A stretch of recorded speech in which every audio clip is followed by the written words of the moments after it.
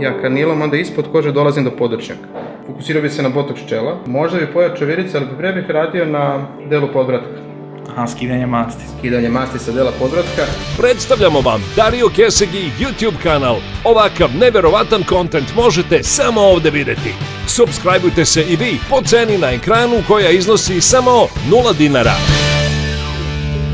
Najveći ljudski organ je koža, a pitanje je da li dobija najviše pažnje. Otišli smo u odličnu kliniku Faktor Estetik u Beogradu, pravo kod profesionalaca da radimo na lepoti i zdravlju već pomenute kože.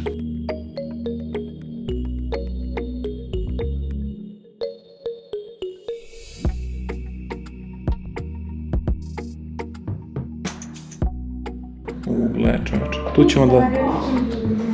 Koji je bio prvi komentar za nas dvoje? Ima svašta se radi. Molim, molim, jel klinika može ovo da reši? Misliš da mogu? Liposukciju da uradim? Šta mrš glavom? Ne treba ti liposukcija, ti si meni najzgodniji. Neki botoks, nešto. Ja zbojim igle. Ja sam rekla tebi napupaj malo usta. E, ima, ima ovako će hoće da ima ovakav stomak. Ovo je doktor tu napoj.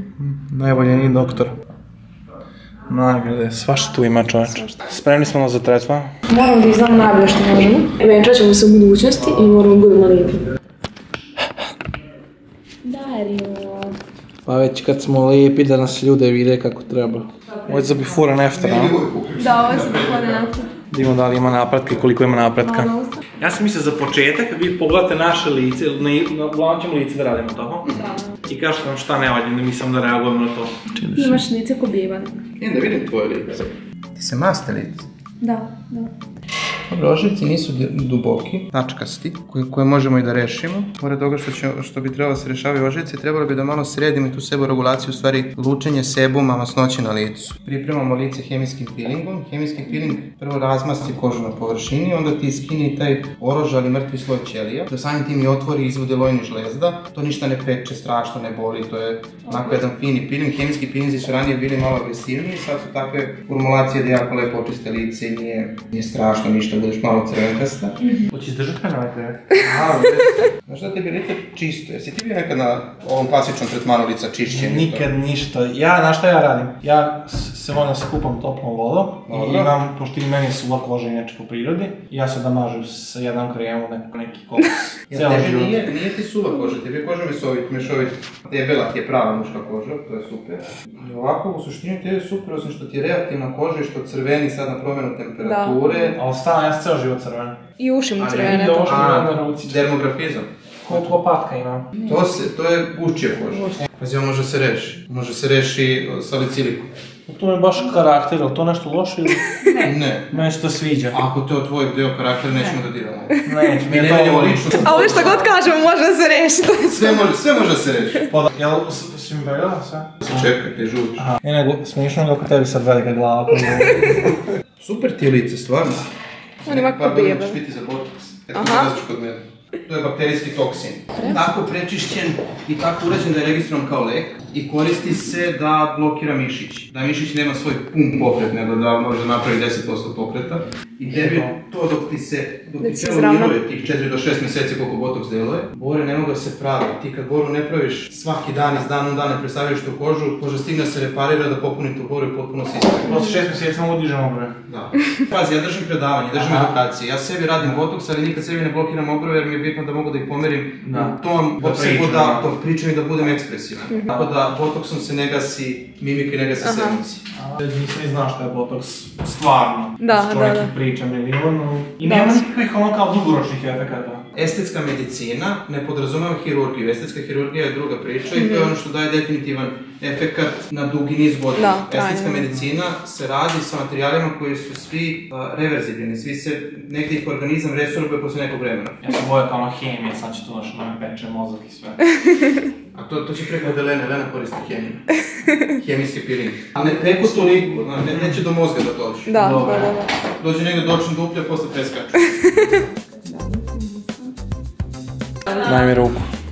Sve će biti okej, okay, Sve će biti okej. Idemo sa špricevima odmah. Možeš da kažeš sve šta, šta stavlja. Da, da, da. Što špricevi će? Ja dobiš šprice. boca, to je ovaj piling. Da. Ti dobiješ jedan, mi smo muškarci malo manje komplikovani, pa kod tebe ide jedan, a kod nje ide tri.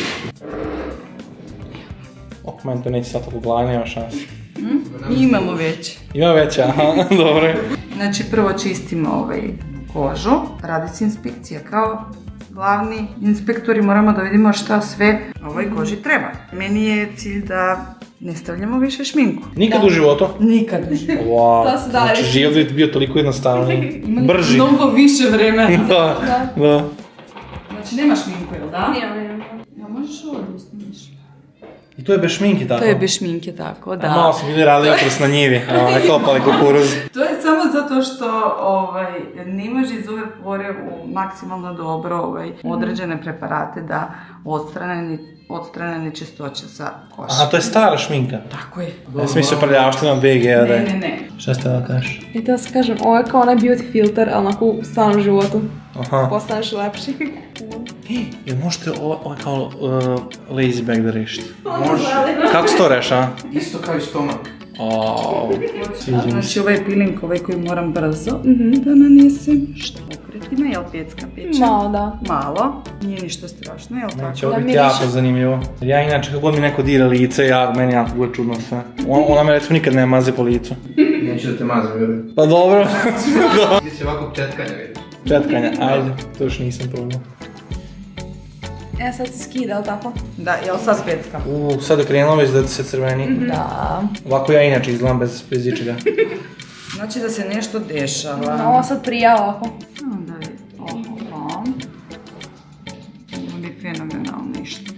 Znači, skinuli smo taj površinski sloj, da ne budem baš mnogo... Ove, nema neke inflamacije, ali imaš otvorene, a boga mi imaš i zatvorene komedone. Odnosno, mitesere. E sad, da ne bi maltretirali mi ovu kožu sad, mi ćemo je lepo pripremiti. Da je pripremimo da bi je ove, za 10 dana očistili kako treba, zato što je dosta površina suva. Jasno. Ovo je retinol, retinol se koristi ovaj, davnih vremena za лечење. Ја аз боим. Све се иглама да биде прецизни.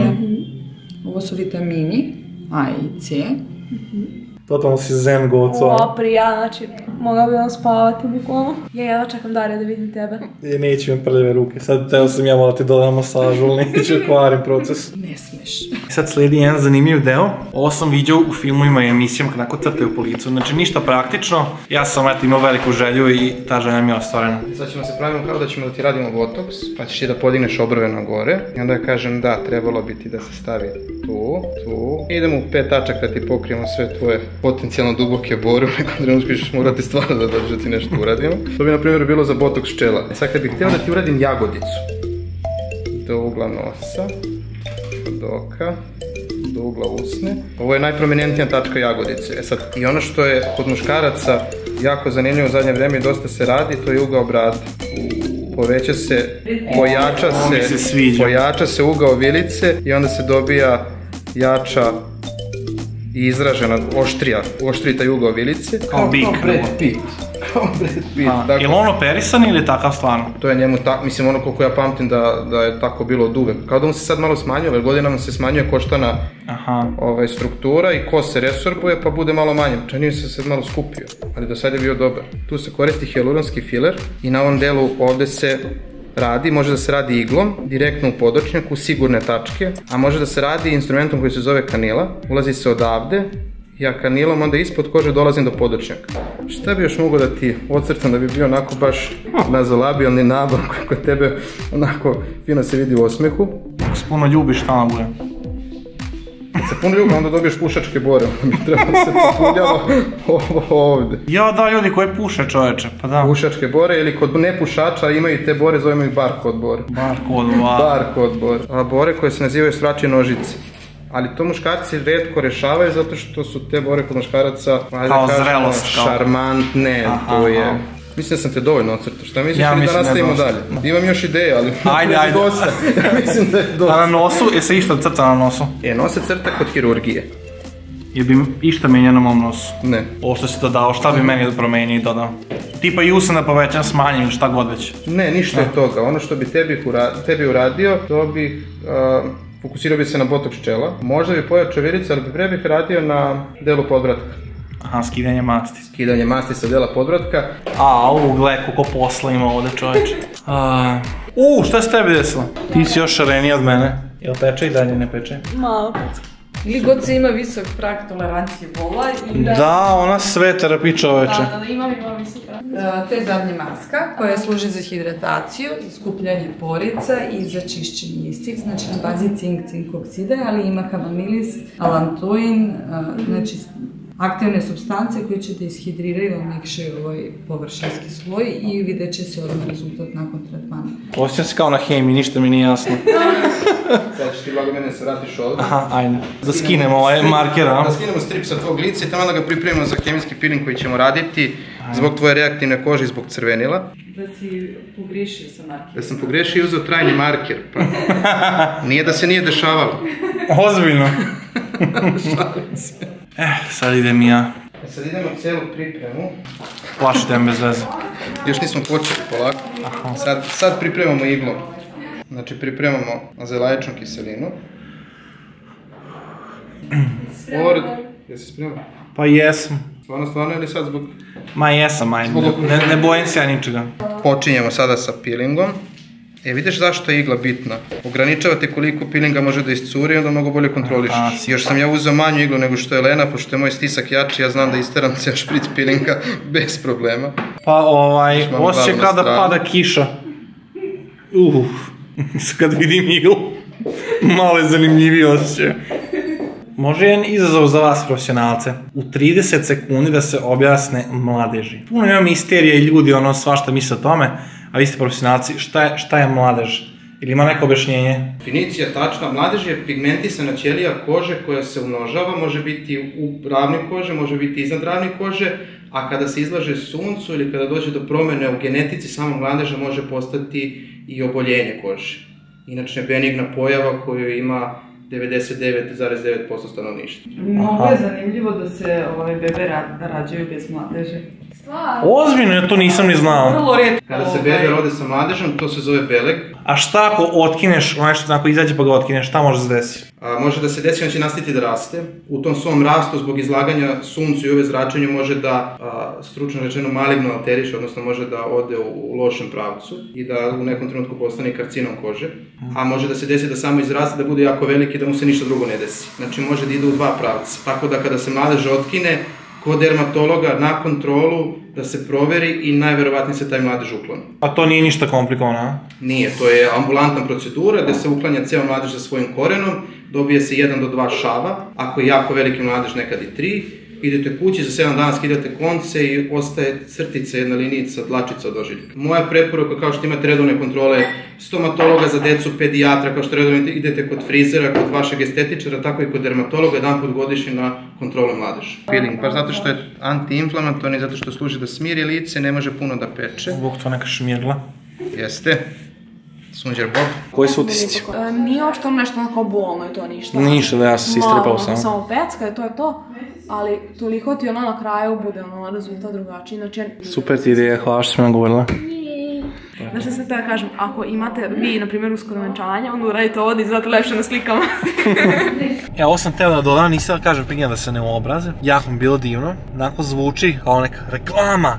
Budi svoj. Mislim da su stvarno fini ljudi i da im je stvarno stalo do tebe. da, da. I ja sam imao i brdo pitanja i sve su onako fino odgovorili, sve su naš, sve su kao onako što ono hoće da, da budu dobri. ne znam da ti objasnim. Kontam.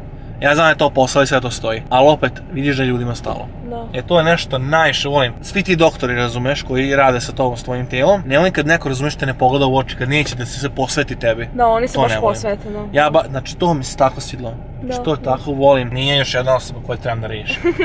Znaš, ovo je čovek, brate, on boji se. Da, Da će da. ga peći glava, razumeš. Da, da. Vidim da si ti zadovoljan 200 puta od mene. Da, znači Ti meni ne moraš se ništa reći. Samo uzmete ovo moje i pomnožite se 200. Preporodilo mi se lice, bukvalno, a tek će se preporodi. Ako se još uvek niste subscribe-ovali, ne znam šta čekate, veoma jednostavno kliknite na dugmence i zazvonite zvonce. Wow, upravo ste zapratili najkvalitetniji kanal na Balkanu. Ali to nije sve. Na ovom istom kanalu možete pronaći na stotine klipova. Ovaj savršen kontent gledajte kada god poželite potpuno besplatno. Zaboravite na dosadu i kažite ćao epskim mimovima. Ne morate žuriti jer količine su neograničene.